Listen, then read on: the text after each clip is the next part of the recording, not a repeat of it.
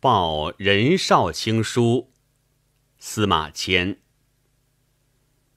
太史公牛马走，司马迁再拜言。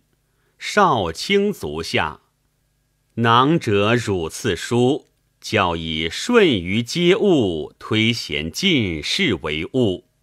意气勤勤恳恳，若望仆不相失，而用流俗人之言，仆非敢如此也。仆虽疲奴。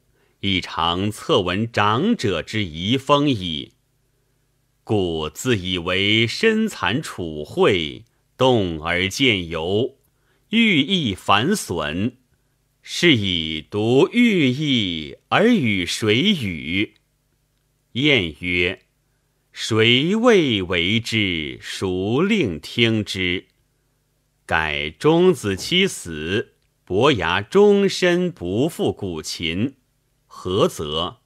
是为知己者用，女为悦己者容。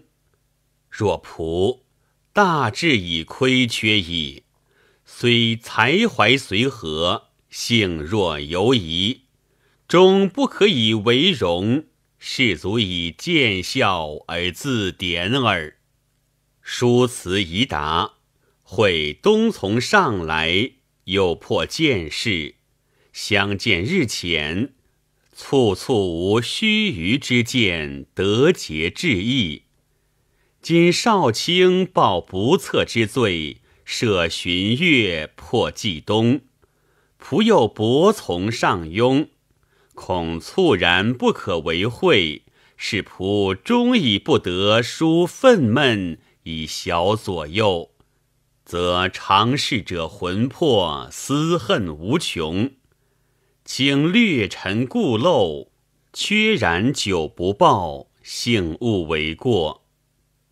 仆闻之，修身者志之福也，爱师者人之端也，取予者义之表也，耻辱者勇之绝也，立名者性之极也。是有此五者。然后可以托于世，而列于君子之林矣。故或莫惨于欲利，悲莫痛于伤心，幸莫丑于辱先，垢莫大于公行。行于之人，无所比数，非一事也，所从来远矣。喜卫灵公与雍渠同在，孔子侍臣，商鞅因景见献，赵良寒心。童子参圣，原思变色，自古而耻之。夫以忠才之人，事有关于幻术，莫不伤气，而况于慷慨之士乎？如今朝廷虽乏人，奈何令刀具之余见天下豪俊哉？仆赖先人续业，得戴罪古辇下二十余年矣，所以自为上之不能纳忠孝信，有其策财力之欲，自结明主；次之。又不能时以补缺，招贤进能，显研学之士；外之又不能备行武，攻城野战，有斩将千骑之功；下之不能积日累劳，取尊官厚禄，以为宗族交游光宠。四者无一岁，苟合取容。无所短长之效，可见如此矣。相者，仆常策下大夫之列，陪外廷莫议，不以此时引为纲，尽思虑。今以窥行为扫除之力，在踏容之中，乃欲扬首伸眉，论列是非。不亦清朝廷修当世之事也？嗟乎嗟乎！如仆尚何言哉？尚何言哉？且是本末未易明也。仆少妇不羁之性，长无相屈之欲。主上幸以先人之故，使德奏博记出入周魏之中。仆以为待盆何以望天？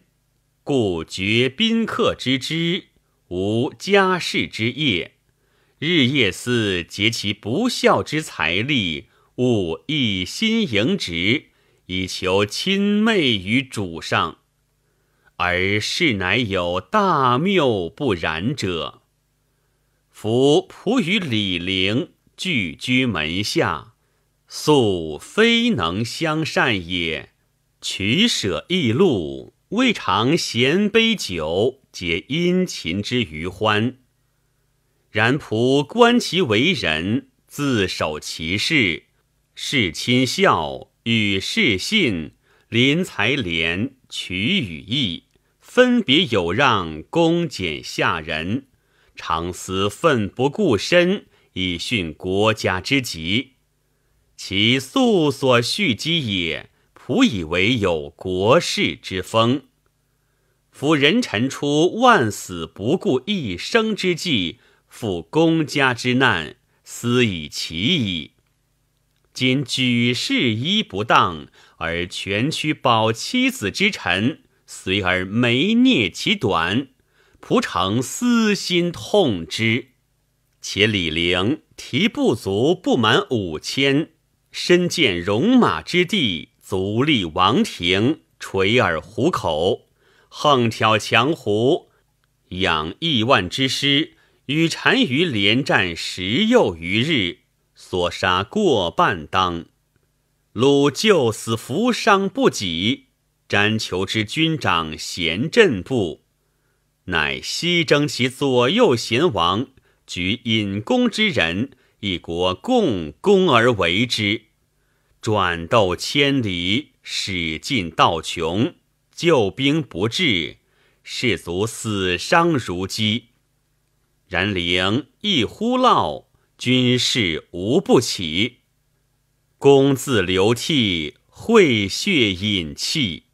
更张空圈冒白刃，北向征死敌者，灵未末时，时有来报。汉公卿王侯皆奉商上寿。后数日，灵拜书文，主上谓之食不甘味，听朝不宜，大臣忧惧，不知所出。仆妾不自料其卑贱，见主上惨创达道，诚欲效其款款之余，以为李陵素与士大夫决干分少，能得人死力，虽古之名将，不能过也。身虽陷败，比观其意，且欲得其当而报于汉。是以无可奈何，其所摧败，功亦足以铺于天下矣。仆怀欲臣之而未有路，是会召问，即以此旨推言陵之功，欲以广主上之意，色睚眦之词，未能尽明，明主不晓。以为仆举二师，而为李陵游说，遂下于礼。权权之中，终不能自列，因为无上足从利益。家贫货禄不足以自赎，交游莫救，左右亲近不为一言。身非木石，独与法力为伍。身有灵域之中，谁可告诉者？此真少卿所亲见，仆行事岂不然乎？李陵既生降，颓其家声，而仆右二之残事，众为天下观笑，悲服悲服，是未易一二位俗人言也。仆之先，非有剖腹丹书之功，文史兴利，近乎补助之间。故主上所戏弄，昌幽所叙，流俗之所轻也。假令仆伏法受诛，若九牛王一毛，与蝼蚁何以异？而事又不与能死节者避，特以为至穷罪极，不能自免，足就死耳。何也？素所自树立使然也。人固有一死，或重于泰山，或轻于鸿毛，用之所趋异也。太上不辱先，其次不辱身，其次不如礼色，其次不辱辞令，其次躯体受辱，其次一服受辱。其次，棺木所被垂楚受辱；其次，剃毛发应金铁受辱；其次，毁肌肤断肢体受辱。最下腐刑极矣。传曰：“刑不上大夫，此言世节，不可不勉励也。”猛虎在深山。百兽震恐，即在见景之中，摇尾而求食，即为约之见也。故事有画地为牢，势不可入；削木为利，亦不可对。定计于险也。今交手足，守木锁，铺肌肤，受崩锤。由于元强之中，当此之时，见欲立则头枪地，是图利则心涕兮。何者？即谓约之事也。即以治世，言不如者，所谓抢言耳，何足贵乎？且西伯伯也，居于有礼。李斯相也，居于五行；淮阴王也，受谢于臣；彭越张敖，南面称孤，系罪抵御；将侯诸诸吕，权倾五霸，求于请示；魏姬大将也，义者一，官三目，既不为诸家前奴。冠夫受辱于居士，此人皆身至王侯将相，声闻邻国，即罪至往家，不能隐绝自裁，在尘埃之中，古今一体，安在其不如也？由此言之，勇怯是也，强弱行也，神矣。何足怪乎？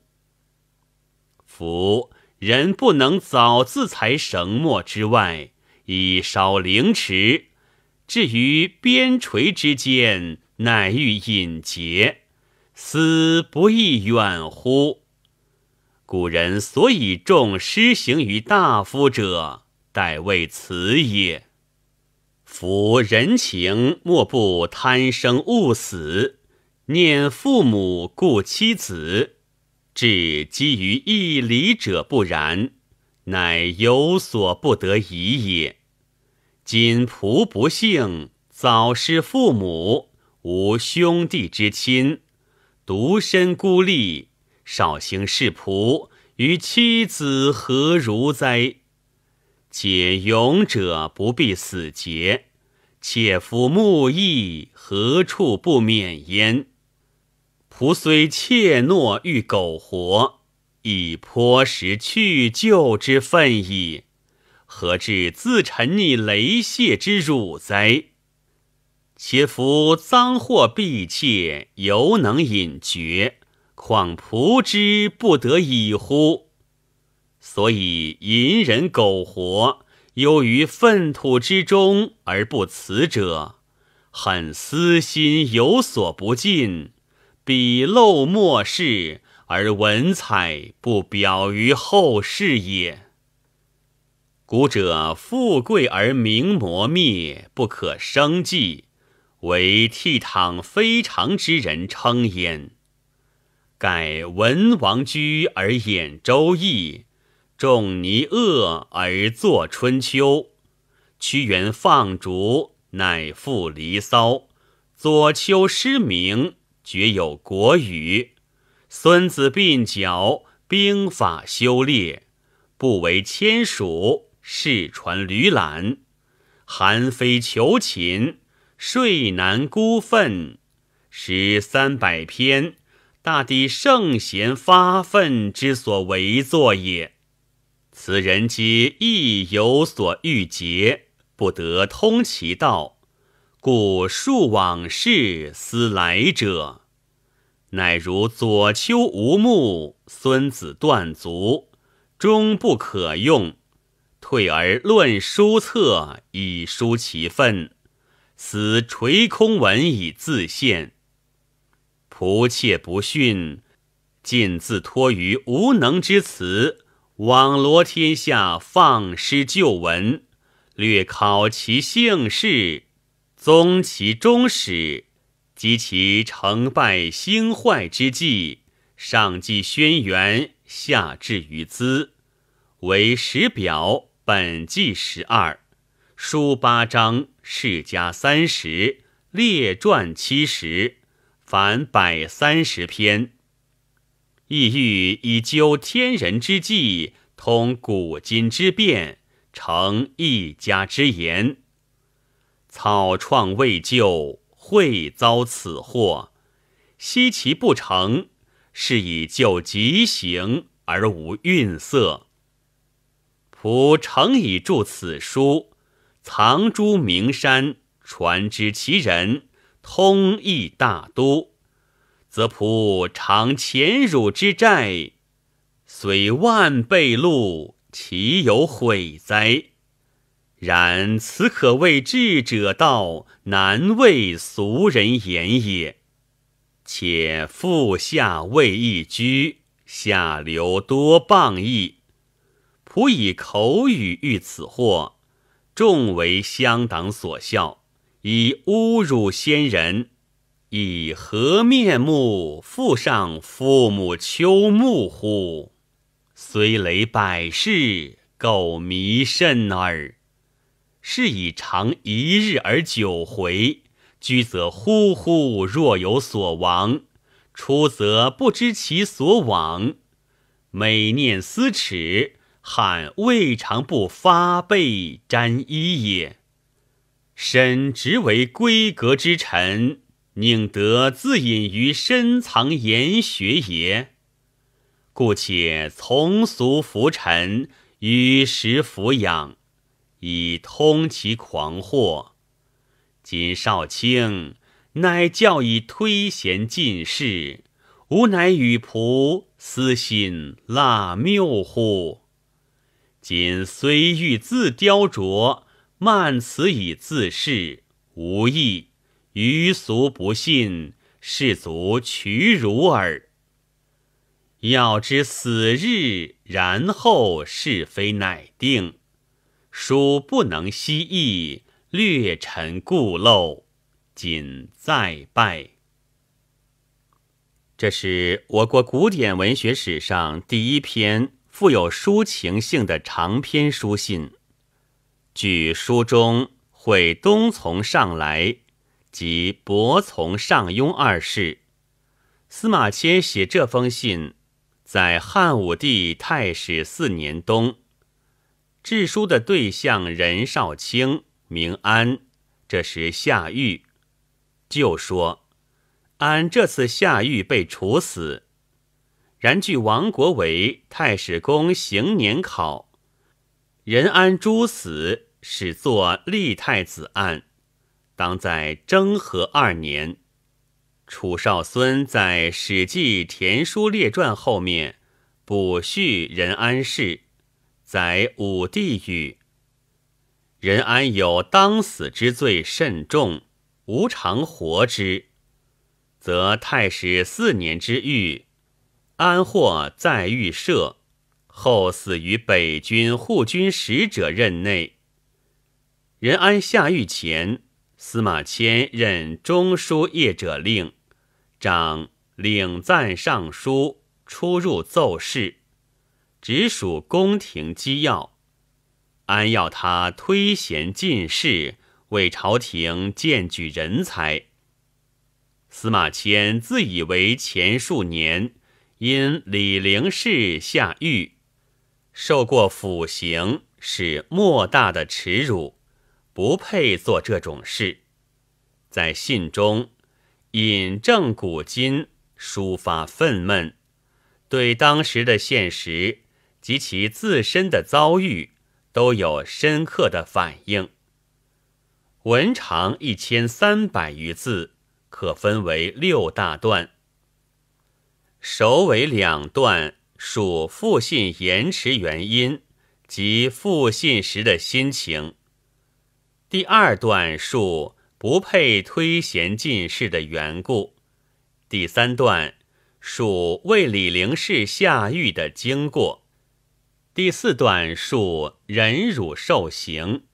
第五段述如何完成《史记》的写作。书中主要内容有如下四个方面。第一，反映了司马迁的光辉性格和封建统治者的一些恶劣行为。司马迁在书中称赞慷慨之士和倜傥非常之人，他自己正是地地道道的这种人。因为这样，他对受腐刑的耻辱极为强调。认为大智已亏，在踏荣之中。至于无可比数，虽累百世，苟迷甚耳。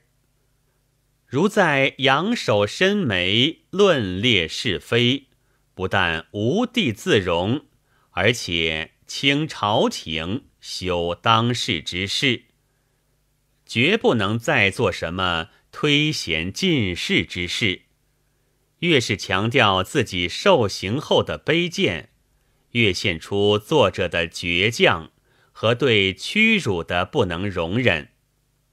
他认为，在受刑前理应隐绝自裁，不该苟且偷生，受此屈辱。这充分表现他性格的刚烈。他所以受此耻辱，又是出于。正直敢言和对朝廷的忠诚。当李陵兵败投降匈奴的事件发生，在朝廷大臣忧惧不知所出，全区保妻子之臣及平时对李陵有睚眦之怨的人，一片没念其短的声中，他挺身而出，说了一些公道话。李陵降敌有失民族气节，但在当时，他的遭遇却又值得同情。司马迁与李陵无私交，然观察李陵平时的为人，有国士之风；兵败前的忠勇苦战，却有除万死不顾一生之概，情状感人。李陵之败，本来为汉武帝宠妃李夫人之兄二师将军李广利所误，主要责任在彼。司马迁要武帝考虑李陵平日的为人及此次作战情况，略观动静。武帝袒护李广利，以为司马迁的发言是举二师。即有伤李广利，遂如《史记》所载，卒灵母妻子，断陵赎罪之路，并下司马迁于狱，施以酷刑，以泄私愤。这些反映了司马迁性格的另一光辉侧面，并反映了汉武帝的处事不公、微服无常。以及朝官权贵的势力和无能。其二，反映了封建刑狱制度的黑暗残酷。汉初原有纳钱谷可以赎罪和败爵之举，司马迁受处分，家贫货禄不足以自赎，交游莫救，左右亲近不为一言。入狱后，以其性格的慷慨刚烈，也不免要见狱吏则投枪地，使徒吏则心涕兮。他进而从周文王、李斯、韩信、彭越、张敖、周勃、窦婴、季布、灌夫等人入狱和受刑的事，指出在刑罚、狱官。狱卒的积微约之势的驱迫下，这些著名人物，包括自己在内，同样屈身受辱。言不辱者，所谓抢言耳。这除了涉及人情冷暖和皇帝的左右亲近的位法之外，主要反映封建刑狱制度的黑暗和残酷。其三，在我国文学史上，最早提出了发愤著书的理论。司马迁认为，夫刑之辱不可忍，但书中却又指出自己碰到时是就极刑而无愠色。为什么呢？这是因为他又认为死或重于泰山。或轻于鸿毛。当时为对祖国和人民做出志所久存、力所能及的重要贡献，轻易一死轻于鸿毛。他的顽强的历史责任感不容许他这样做，他只得付出巨大的代价，咬着牙根忍受下来。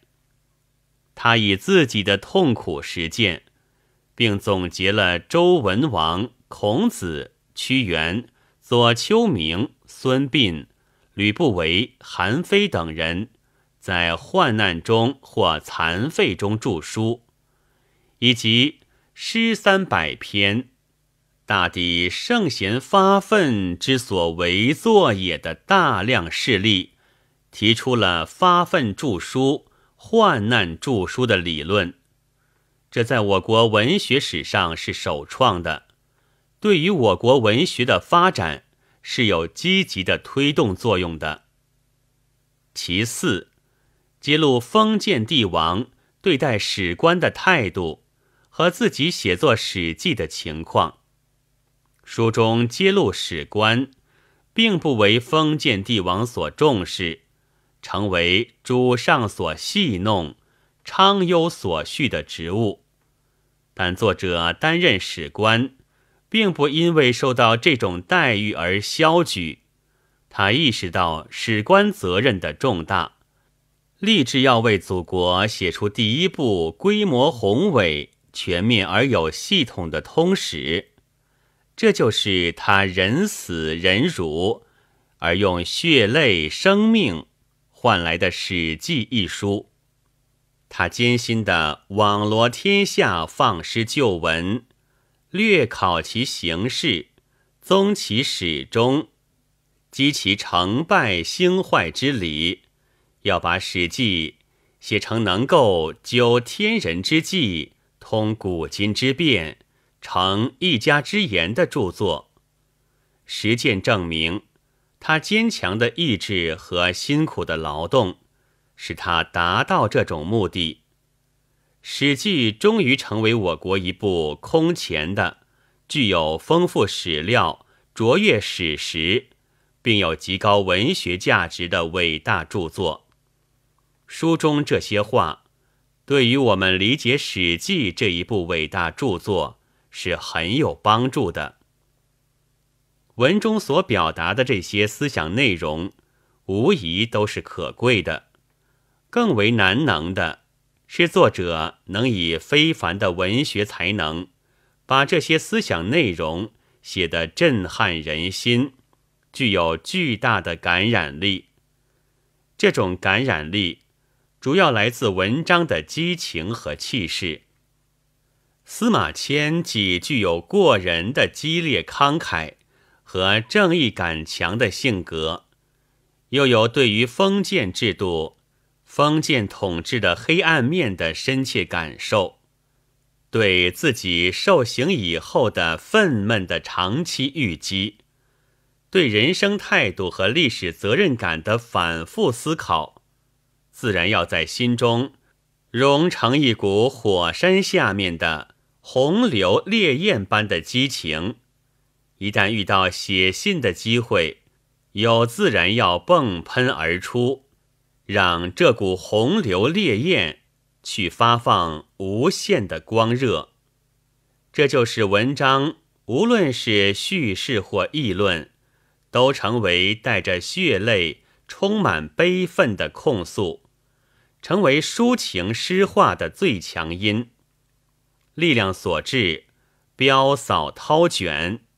这种气势力量，又通过文章的语言形式，主要表现于如下的三个方面：其一，极言极论，接连倾泻，书中立叙士德的五种表现，自己受腐刑之辱的无所比数，自己出事后的种种矛盾，李陵的为人。及其苦战情况，朝廷对李陵事件的反应，各种刑罚的耻辱性的比较，历史上著名人物受刑就罚的态度，历史上发愤著书的事例，《史记》的内容和写作意图，或连累而集，或对比相处，都是一事接着一事。一例接着一例，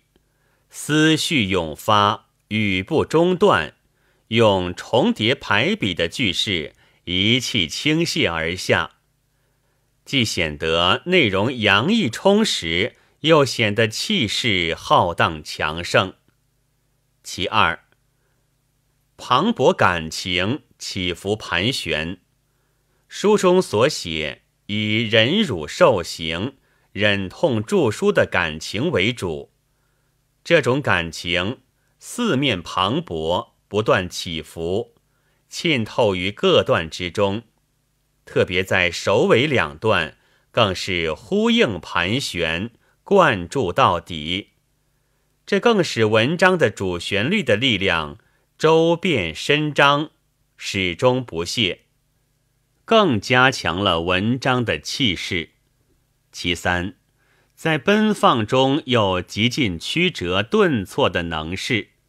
这篇文章从整体上看是一气倾泻的，但每续一事或每发一意，又往往是层次多而转接自然，以奔放的契机携曲折的思路以行。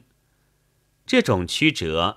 既不伤文章的奔放气势，相反的，又以顿挫的力量加强了它。如第一段自“若望仆以不相失”至“而与谁与？何则？”至“是足以见笑而自点耳”。第三段自“仆少妇不羁之性”至。而是乃有大谬不然者，自其素所蓄积也，至私心痛之。第四段自与蝼蚁何以异，至用之所趋异也，自当此之时，至何足贵乎？第五段字，少卿是仆于妻子何如哉？至况仆之不得已乎？凡此之类，不生备举，都是层次转折既多，基调又奔放直下，顿挫有加，而气势更旺的。由于如上的特色，故整篇文章以其过人的丰富、强烈、奔放的思想感情，形成卓绝千古的浩荡雄伟的气势。宋真德秀评为跌宕奇伟，请方苞评为如山之出云，如水之负荷，千态万状，变化于自然，由其气之盛也。后来为韩退之答《孟尚书》书类此。林云明评为。通篇淋漓悲壮，如泣如诉，自始至终似一气呵成。福启龙评为沉雄激壮，如江海之气，横空上出，魔荡六虚，都颇能得其气概。本文作者陈祥耀朗读，白云出岫。